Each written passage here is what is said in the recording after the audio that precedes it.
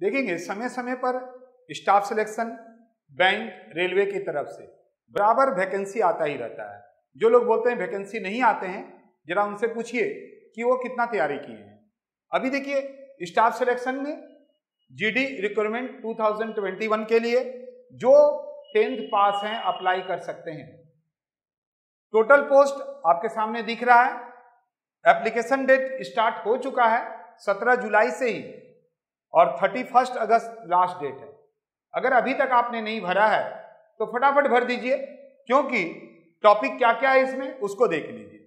Reasoning 25 questions math GK GS 25 Hindi English में से कुछ 25 तो आप देख रहे हैं, एक ग्रेट अपॉर्चुनिटी आपके लिए आया है, और क्वालिफिकेशन बहुत ही नॉमिनल टेंथ पास और बेसिक बात आते हैं, जरा सा भी तैयारी करेंगे तो आपका निकल सकता है।